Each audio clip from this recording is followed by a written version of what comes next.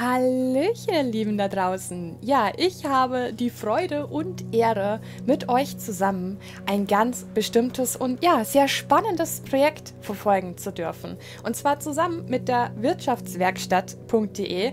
Ähm, ja, darf ich euch ein ganz spezielles Projekt vorstellen. Und was das Ganze ist, das werde ich euch jetzt gleich zeigen. Ich spanne euch nicht lange auf die Folter. Und zwar geht es um die Minecraft Challenge 2017. Ja, die Wirtschaftswerkstatt hat das Ganze auch letztes Jahr schon gemacht und jetzt geht es auch dieses Jahr wieder los. Das Ganze ist auch schon gestartet, und zwar am 7. August, also vor drei Tagen bereits. Und ich werde euch so mit ein bis zwei Videos ungefähr die Woche ähm, bis zum Ende, das ist dann am 16. September, zeigen, was denn da so genau passiert. So, jetzt werdet ihr euch aber natürlich fragen, Minecraft Challenge, Wirtschaftswerkstatt, was genau ist das denn? Und das schauen wir uns jetzt mal an. Ja, am einfachsten geht es natürlich, indem wir uns hier anschauen, was denn auf der Homepage steht. Und hier ähm, sind die wichtigsten Informationen. Und für mich ist das Ganze auch sehr neu. Ich bin sehr gespannt, äh, wie das für mich werden wird, dieses Projekt zu verfolgen. Denn die Leute, die meinen Kanal kennen, die wissen, ich bin nicht unbedingt die 100% hellste Leuchte, was Minecraft angeht, aber ich habe doch schon sehr, sehr viele Spielstunden. Und dementsprechend, ja, werden wir das mal zusammen anschauen. Und ja, ihr könnt mir ja gerne mal in die Kommentare schreiben, was haltet ihr denn davon und was findet ihr am besten und wie gefällt euch, wie das Ganze sich entwickelt. Also, wir lesen uns das am besten einfach erstmal durch die Minecraft Challenge 2017 Wirtschaften mit begrenzten Ressourcen. Das ist auch das Thema, ähm, unter dem die Challenge dieses Jahr läuft. Die Minecraft Challenge 2017 geht los. Wir suchen die nachhaltigsten Minecraft-Startups in Deutschland. Gut, da geht es halt jetzt äh, primär darum, dass die Leute sich bewerben konnten. Aber die Bewerbungsphase ist natürlich vorbei und es geht darum, dass man sich halt einen von 20 Plätzen sichern konnte und es gibt natürlich auch was zu gewinnen. Die Leute, die da jetzt dran teilnehmen, haben die Möglichkeit, Gutscheine im Gesamtwert von 750 Euro zu gewinnen. Okay, soweit, so gut. Ähm, uns interessiert natürlich, um was geht es eigentlich? Und das hier steht es auch schon so schön. Ähm, Ziel der diesjährigen Challenge ist es, einen nachhaltigen Wirtschaftskreislauf zu entwickeln, mit dem du einen ordentlichen Gewinn erzielst. Dabei kommt es auf Originalität, Nachvollziehbarkeit und Zusammenarbeit an. Dazu muss jeder Spieler mit der gleichen begrenzten Menge an Rohstoffen arbeiten. Sind diese erschöpft, ist Kreativität gefragt. Denn nur nachwachsende Ro Ressourcen, zum Beispiel Holz, gibt es in der offenen Welt. Klassische fossile Rohstoffe wie Erze, Edelsteine und Co. sind knapp. Mir ist das Ganze auch erklärt worden. Wir sehen das jetzt auch gleich dann auf dem Server. Jeder Teilnehmer hat ein begrenztes Gebiet, in dem auch nur er was machen kann. In den Gebieten der anderen können die natürlich nichts machen, ist klar. Und ähm, das sind auch nur begrenzte Ressourcen. Also sie können schon nach unten gehen und können da ein bisschen sich durch die Gegend meinen innerhalb ihres Gebiets. Aber jeder hat in etwa, ich weiß nicht, was heißt nicht in etwa, jeder hat die gleichen Ressourcen. Also das sind halt eine Menge X an Diamanten vermutlich. So ist mir das zumindest erklärt worden. Und ähm, man kann zwar schon in die Pampa rennen und da sich Ressourcen holen, aber da werden sie keine Eisen oder sowas finden. Und das finde ich ganz spannend, denn es geht eben darum, wie arbeitet man, wenn man begrenzte Ressourcen hat? Wie macht man das Ganze? Und wir werden so quasi jetzt dieses Projekt verfolgen und werden schauen, wie gehen die Spieler denn damit um? Was machen die mit diesen begrenzten Ressourcen? Was ist die Idee? Und ja, ich bin schon sehr gespannt, was da alles passiert. Hier unten ist auch nochmal eine kleine, eine kleine äh, Grafik dazu, was ein Wirtschaftskreislauf ist und so weiter und so fort. Ich werde euch auf alle Fälle den Link in die Videobeschreibung packen. Denn wenn ihr euch das Ganze noch in Ruhe durchlesen möchtet, dann findet ihr das da unten. So, wir gehen jetzt mal mehr Spieler und gehen mal auf den Server. Denn wir wollen natürlich auch sehen, was passiert denn da. So, da sind wir auch schon. Welcome. Ähm, und das ist das ganze Gebiet. Jetzt müssen wir mal ganz kurz gucken. Game Mode 1. Sehr schön. So, dann können wir uns nämlich das gleich mal von oben anschauen, damit ihr also schon mal einen Überblick bekommt, wie das Ganze hier jetzt aussieht. Hier ist eben mit dem World Generator ein festes Gebiet ausgeschnitten worden. Das sieht man auch sehr schön an den Kanten da hinten, kommt mir irgendwie bekannt vor. Ähm, ist eben dieses Gebiet ausgeschnitten worden. Und hier sind die verschiedenen Bauplätze der verschiedenen Teilnehmer. Es sind ein paar mehr als 20. Ich habe die Zahl schon wieder vergessen, aber ihr wisst ja, Professionalität, ich und Zahlen merken, na, das ist so eine Sache. Und wir sehen schon, es hat sich noch nicht überall was getan, aber bei ein paar der Grundstücken ist durchaus schon was passiert. Und bevor wir uns genau anschauen, was denn da alles gemacht wurde, gehen wir jetzt einfach mal ein bisschen äh, in die Ferne Und dann können wir nämlich hier schon feststellen, wir sehen schon hier äh, ganz normal Bäume und so weiter und so fort. Klar, natürlich, äh, Stein und Co. ist auch alles da. Mobs sind auch da, das ist immer gut. Ähm, deswegen ist es, glaube ich, ganz gut, dass ich ein Creative bin. Ähm, ich möchte nämlich natürlich nichts kaputt machen und da muss ich natürlich aufpassen. Ich werde meine Finger sehr weit weghalten von den Maustasten, weil ich habe echt die Angst, was kaputt zu machen. Aber das, da können wir uns ja rein theoretisch dann behelfen. Ich kann dann ja auch in den Spectator-Mode gehen, was wir auch machen werden. Denn wir wollen ja auch mal gucken, was ist denn unterirdisch so passiert. Und wie gesagt, so ein bis zwei Videos die Woche werden wir hier auf dem Server verbringen werden uns das Ganze anschauen und werden gucken, was sich hier so entwickelt. Ich bin auf alle Fälle sehr gespannt. Für mich ist das auch was sehr, ja, es ist was Spannendes für mich. Für mich ist das wirklich total neu und ähm, ich habe ja auch telefoniert mit den Leuten davon. Ich kann mir keinen Namen merken. Verdammt, Entschuldigung, wenn du das hier siehst. Ich habe deinen Namen vergessen. Ähm, und habe da ja auch meine Bedenken geäußert. Ähm, weil mein Bedenken waren halt so, ja, was ist jetzt, wenn die da irgendwas mit Redstone bauen und ich habe gar keinen Plan, was das ist. Und ja, ich will das ja nicht total stümperhaft drüber bringen. Aber man hat mich ermutigt, dass ich das schon schaffe. Und wer weiß, vielleicht werden wir ja auch den einen oder anderen von den Leuten, die hier an dem Projekt beteiligt sind, mal mit in ein Video dazu bringen damit die sich das, äh, damit die zum Beispiel ihr Bauprojekt auch mal vorstellen. Ne? Müssen wir mal gucken, ob wir da jemanden dazu bekommen. So, äh, ja, das hier ist halt einfach nur so ein kleiner Mittelpunkt. Das ist jetzt hier nichts irgendwie Weltbewegendes. Das ist halt einfach, ja, die Mitte, ne? Von daher ist das jetzt äh, nicht ganz so wichtig. Und jetzt schauen wir mal. Wie machen wir das mit? Ich würde sagen, wir schauen uns erst die vier Grundstücke an, wenn ich das richtig gesehen habe. Ähm, ja, Plot 24. Okay, das sind, glaube ich, 24 Plätze. Ne? Müssen wir mal gucken. Was haben wir hier? Also bei den vier inneren Grundstücken hat sich noch gar nichts getan. 23, ja, da werden es 24 Plätze sein. Ne? Wahrscheinlich. Ich könnte es auch nochmal zählen. Ne? Ich könnte es auch einfach ausrechnen. Aber das wäre zu einfach. Das wäre zu einfach. 22 und dann wird das hier 21 sein und 20 um drum herum. Okay, dann sind es also entweder noch 24 geworden oder diese vier Plätze sind dann noch für irgendwas anderes. Wer weiß. Ähm, muss ich mich mal erkundigen, muss ich mal nachfragen. Okay. Ähm, ich werde versuchen, das Ganze natürlich nicht zu kurz zu machen, aber auch nicht zu lange. Es soll halt alles so ein kleiner, grober Überblick sein. Aber zu lange jedes Mal natürlich auch nicht. Das ist, äh, ist natürlich auch klar. Okay, schauen wir einfach mal beim ersten Grundstück. Ähm, Namen weiß ich gar nicht. Haben wir da haben wir Namen an den Grundstücken von den Personen, die das gebaut haben? Sollen wir mal schauen. Bin im Urlaub. Regierungsbezirk Fab Nation. Ähm, Danger, keep out. Okay, er ist im Urlaub. Plot 15. Wir hätten eigentlich bei 1 anfangen sollen. Ne, egal. Ist, hätten wir nicht, also ist mir natürlich frei, äh, ich, äh, freigestellt, wo ich anfange, aber ist natürlich jetzt lustig. Okay, dann gucken wir mal. Was haben wir hier? Jede Menge Zuckerrohr. Okay. Auf alle Fälle schon mal eine Zuckerrohrfarm. Was haben wir hier? Hier haben wir eine Weizenfarm. Vermute mal, vom Aufbau her wird es eine automatisierte Weizenfarm sein. Denn hier ist Wasser jede Menge Wasser. Das hier werden vermutlich Pisten sein. Ja, hier haben wir Redstone. Okay, wir haben also schon mal eine automatisierte Weizenfarm und wir haben eine Zuckerrohrfarm, die aber, glaube ich, nicht automatisiert ist. Ne? Die ist nicht automatisiert. Okay, auf alle Fälle schon einiges entstanden. Schweinchen haben wir da. Ähm, da ist nichts drin. Okay. Ich kann hier natürlich rein. Normalerweise, andere, die anderen Spieler können hier natürlich nicht rein. Ja. Äh, aber da ich ja hier die Rechte auf dem Server habe, kann ich mir das alles anschauen. Mach mal, please, die Mobfarm weg. Der Server leckt dadurch. Okay. Okay, da, da scheint es eine Mobfarm zu geben oder gegeben zu haben. Und dadurch hat der Server geleckt. Okay. Ja, das ist natürlich ein bisschen ärgerlich, ja, aber da werden die sich dann sicherlich schon drum gekümmert haben. Moment, wir machen das jetzt mal ganz anders. Game, äh, Game Mode 4 Ist das der richtige? Nee. Verdammt. Game Mode 3. Entschuldigung, jetzt. Na. So, perfekt. Okay. Das ist mir ehrlich gesagt gerade ein bisschen lieber, weil ich möchte hier nichts kaputt machen. Ich möchte ja nicht, dass äh, irgendwas... Ne? Deswegen schauen wir uns das lieber so an. Ähm, da habe ich ein bisschen Angst davor, dass auf einmal irgendwas kaputt geht. Das wäre nicht so gut. So, wir haben hier auch noch eine Farm. Jetzt sind Karotten. Okay, Karotten hier vorne. Sind das auch Karotten? Oder Kartoffeln? Weiß jetzt nicht. Ich glaube, entweder sind das hier Kartoffeln oder Karotten, die noch nicht fertig sind. Ich glaube, das sind Kartoffeln. Okay, also wir haben auf alle Fälle hier auf dem Grundstück schon mal zwei automatisierte Farmen und ein äh, Zuckerrohrgebiet. Und so wie es scheint, eine Mobfarm, die stillgelegt wurde. Okay, gut. Gab es wohl noch ein bisschen Probleme. So, hier hieß es Danger, keep out. So, natürlich, wenn man hier in den Modus geht, ein bisschen schwierig. Wir haben ein Ei ausgesammelt? Ne, hier. Okay, hier ist schon mal ein Hühner.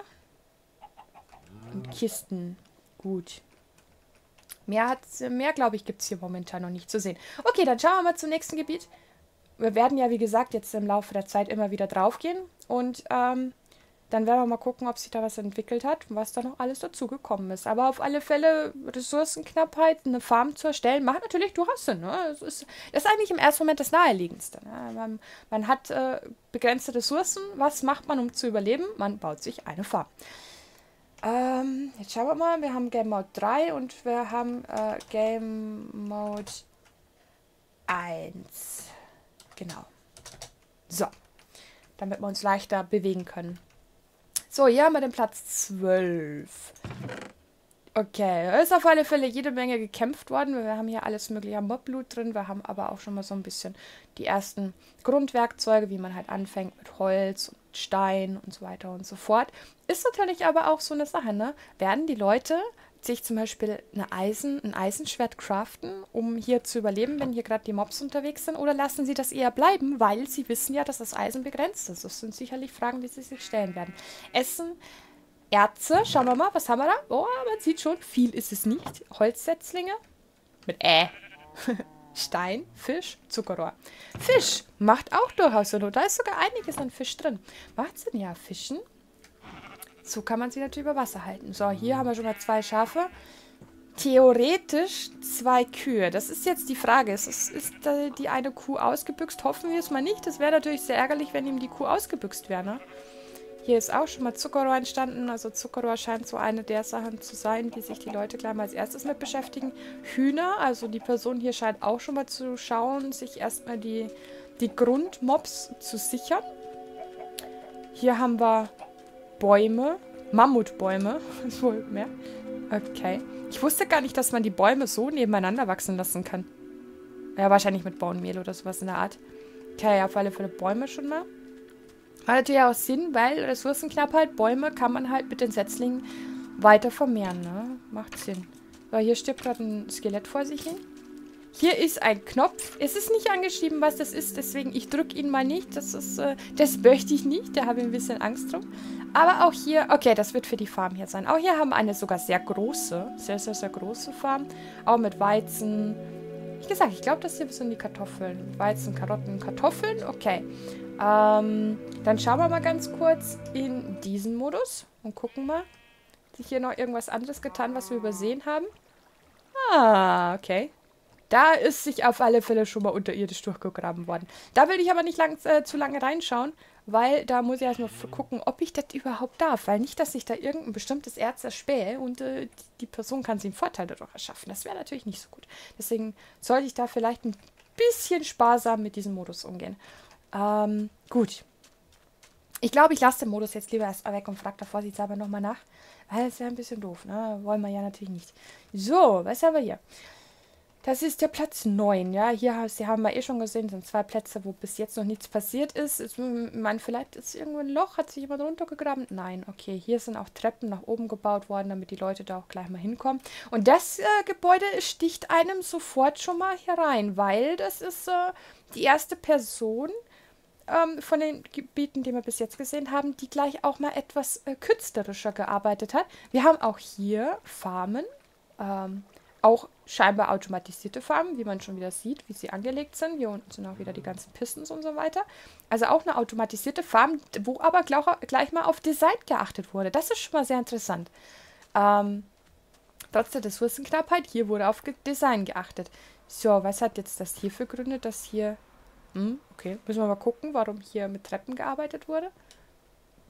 Vielleicht ist das ein Designelement, wer weiß. So, hier haben wir... Okay, sieht auf alle Fälle schon mal sehr interessant aus. Da ist sich gleich mal da hochgebaut worden. Sehr gut. Ah, hier sehen wir das Innenleben von der Farm. Okay. Aber hier sehen auf alle Fälle, das ist, das ist eine Attrappe, ne? Guckt euch das an. Von vorne sieht das schon voll so nach Gebäude aus und von hinten so, das ist nur eine Kulisse. Es ist natürlich im Aufbau. Spaß, ne? Okay. Okay, äh, im Fachwerkstil. Äh, so eine Mischung aus Mittelalter und Fachwerk, ne? Irgendwie so. Ich bin kein Profi, was Baustile angeht, aber passt zum Thema irgendwie. Ich finde, das ist, hatten ja damals ja auch sehr begrenzte Ressourcen. Ähm, die mussten sich ja auch alles mit der Hand erarbeiten. Ne? Auf alle Fälle sieht das schon mal sehr, sehr vielversprechend, sehr, sehr schön aus. Hier entsteht auch eine Farm.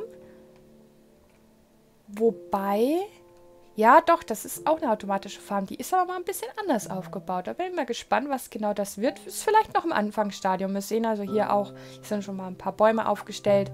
Ähm, die erste Truhe hier, da haben wir auch ein bisschen was drin. Oh, der hatte 53 Eisenbahn, ne? der hat ein bisschen mehr gehabt. Und hier geht es eben nach unten. Ist aber zu. Hier geht es nach unten. Da wird sich wahrscheinlich durchgemeint worden sein. Wie gesagt, die haben alle die gleichen Ressourcen. Also da gibt es halt dann Menge X an Kohle oder Menge X an Eisen. Die Frage, die sich mir stellt, wenn da Menge X an Kohle ist, wie das da mit der Drop-Chance ist, weil du hast ja gewisse Chancen, dass da gewisse Menge an Kohle rauskommt. Das, das wäre doch interessant zu wissen. So, hier haben wir Shop. Das ist schon mal interessant. Willkommen, hier findest du die heutigen Premium-Angebote. Ah, das glaube ich, hatten die mir ja auch erzählt, ähm, da, dass sie auch ne, einen Shop haben, wo sie sich Sachen kaufen können. Da sind Eier drin, Kohle drin. Da bin ich mir jetzt, da bin ich mir jetzt unsicher. Ist das jetzt von dem Spieler oder ist das jetzt von dem Projekt? Akaziawurz, hier Fußboden, normales Birkenholz. Da muss ich mich nochmal erkundigen. Ist das auch ein Bauprojekt? Doch, das müsste auch ein Bauprojekt sein. Der baut einen Shop. Das ist interessant. Ob der das verkauft oder... Das, das ist interessant. Also da, da muss ich... Da, da bin ich mal gespannt, ob ich da ein paar Informationen drüber kriege. Ob der das selber gebaut hat. Aber warte mal, Shady. Ach, das ist die Person... Ah, okay. Stand das nicht auch über, über der Truhe? Stand das nicht auch über der Truhe? Das ist doch, glaube ich, die Person. Ist, glaube ich, sogar die Person von dem Shop. Erstmal einen guten Abend reinschreiben. So, das ist sein Shop. Okay. Ja, sehr schön. Willkommen im Farbenshop. Fehlt was? PM an Shady. Ach, guck mal, hier sind verschiedene Farben. Ja, sehr schön. Ja, nice. Aha. Er, er, sammelt auf alle Fälle schon mal Farben. Hier haben wir schon mal ein paar Rohstoffe, wie wir schon gesehen haben, wie Glas, Pfeile, Bones, Seeds, Weed und so weiter, Kohle. Also alles Dinge, die sie vermutlich ein bisschen einfacher bekommen werden, als halt wie zum Beispiel das Eisen. Mit Eisen sieht es schwierig aus. Aber ist schon mal gut, da hat sie auf alle Fälle Gedanken gemacht, was genau wird man denn so bekommen. Ähm, äh, warte, bin, warte, bin gerade auf meiner ersten Vorstellung äh, richtig so schreiben sollte man schon. Vorstellungsrunde. So. Okay. Ähm, dann haben wir hier... Okay, Schafe. Ja, da bin ich gespannt, was da noch kommt. Also einen Shop aufzubauen ist auf alle Fälle sehr interessant. Das ist sehr interessant. Ähm, bis jetzt kann man ja noch nicht sehen, wo er die ganzen Sachen herbezieht. Da bin ich mal gespannt, was da noch alles äh, passiert. Ja, weil er muss ja die Sachen auch irgendwo herbekommen. Ob man das auch sehen wird oder ob man nur diesen Shop sehen wird. So, hier baut sich auf alle Fälle jemand durch. Okay. Da gibt es nicht so viel zu sehen. So, alles klar, viel Erfolg. Sehr schön. Da gibt es bis jetzt noch nicht viel zu sehen. Okay, das ist noch im Anfangsstadium. Jetzt haben wir uns ja lange aufgehalten bei manchen Gebieten. Ne? Müssen wir ein bisschen kürzer halten hier. Sonst dauert das ja immer zehn Jahre. Aber gerade beim ersten Mal hier durch darf das schon ein bisschen... So, jetzt gucken wir mal. Was ist das? Wo geht's da hin? Beim ersten Mal darf das gleich mal ein bisschen anders sein. Hier sehen wir schon die Abgrenzungen. Hier können sie nicht durch. Warum ist das hier genau geradeaus? Das ist interessant. Das, weil das hier halt wirklich nichts ist, ne? Das ist interessant. Ist das bei allen so? Hm, weiß es nicht. Okay. Wurde sich auf alle Fälle runtergegraben. Aber wie kam der wieder hoch? Hm, gute Frage. Zwei Schafe schon mal eingesperrt. Ist natürlich die einfachste Möglichkeit. Ein Loch einfach reinschubsen, fertig aus. Hier wird, werden Bäume angebaut. Interessant, dass sie auf einem Erdblock sind. Er hat den Erdblock einfach auf den Sand gepackt. Und noch nichts umgeschippt. Hier haben wir auf alle Fälle schon mal eine unendliche Wasserquelle. Okay, hier sind dann auch die ersten Leitern. Äh, geh runter da. Ja, das ist... Hallo, Creative. Creative? Der will nicht. Okay, so.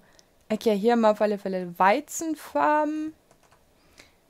Moment, jetzt müssen wir mal nochmal kurz schauen, dass wir da reinkommen. Irgendwie hackelt es hier ein bisschen. Na?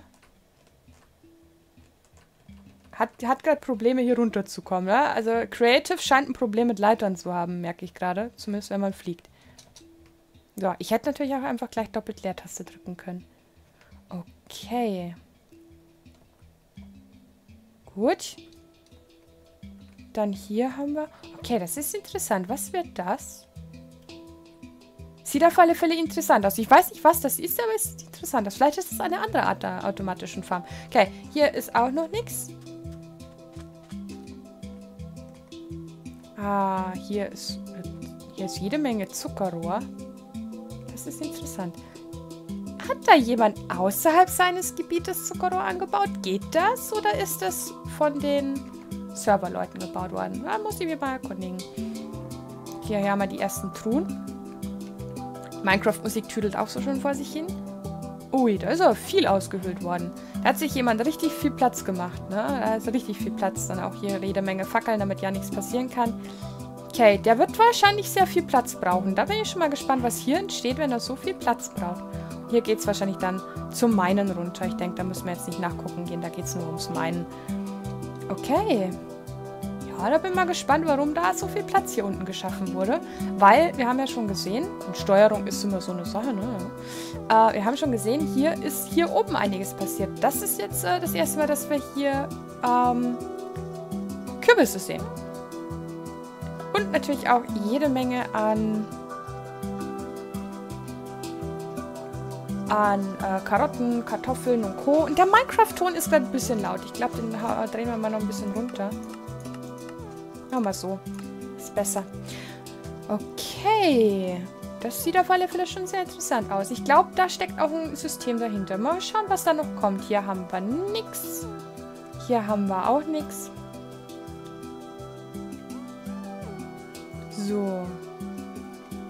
Wir hätten natürlich die Person jetzt auch fragen können, ob sie uns was über das Projekt erzählen möchte, aber da wir ja jetzt auf der ersten Vorstellungsrunde sind, wäre das, glaube ich, ein bisschen zu viel für die erste Folge. Wir sind ja jetzt schon bei 22 Minuten. Ne? Okay. Ähm, hier wird einfach nur gemeint. Ich denke, da brauchen wir jetzt auch nie weiter runterschauen. Das ist also alles noch Anfangsstadium. Hier entsteht auf alle Fälle schon mal Glas.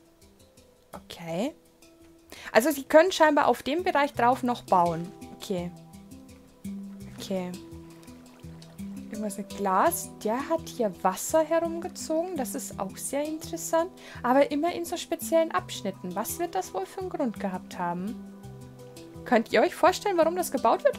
Schreibt es in die Kommentare, wenn ihr eine Idee habt. Okay, das hier sieht auf alle Fälle schon ein bisschen burgenähnlich aus mit Zinnen. Hier ist ein kleines Feld, aber auch das hier ist, glaube ich, noch sehr, sehr im Anfangsstadium. Das ist ein kleines Häuschen. Mit den wichtigsten Sachen. Wahrscheinlich, wo die ersten Sachen vom Abbauen und so weiter und so fort. So, hier haben wir... Okay. Okay. Hier haben wir irgendwas. Wissen wir noch nicht, was das ist. Also wird, äh, wird spannend, was das ist. Felder. Die ersten. Okay, die ersten Sachen, die angebaut werden. Auch da sind Kürbisse. Und ähm, das erste Gebäudeartige. Und äh, hier wird sich scheinbar sehr weit nach oben gebaut. Was wird denn das hier oben? Da wird in die Höhe gebaut. Ähm, hier ist auch ein Feld oben. Warum auch immer hier ein Feld oben ist, das ist sehr interessant. Das kann jetzt als Ausblicksturm gewesen sein und dann zum Feld umgebaut. Es wird spannend, was das wird. Auf alle Fälle schon mal sehr hoch hinausgebaut. So, und dann haben wir ja eh schon äh, das, das letzte Grundstück für heute, das wir uns hier anschauen. Und hier war ein Netherportal. Ah, okay. Die Schafe sind auch erst vor kurzem geschoren worden. Vielleicht ist es aber auch so, dass der Server, sobald die Person runtergeht, erstmal stillsteht. Dass äh, die Server nicht einfach so weiterlaufen. Die Person, ähm, weil ich war alleine auf dem Server, als ich draufgegangen bin. Okay. Hier entsteht auch eine Farm. Aber wir können auf alle Fälle schon mal zusammenfassend sagen, viele haben relativ schnell angefangen, sich erstmal eine, eine ganz normale ähm, Farm zu bauen, die automatisch Weizen, Karotten, Kartoffeln und sowas aberntet.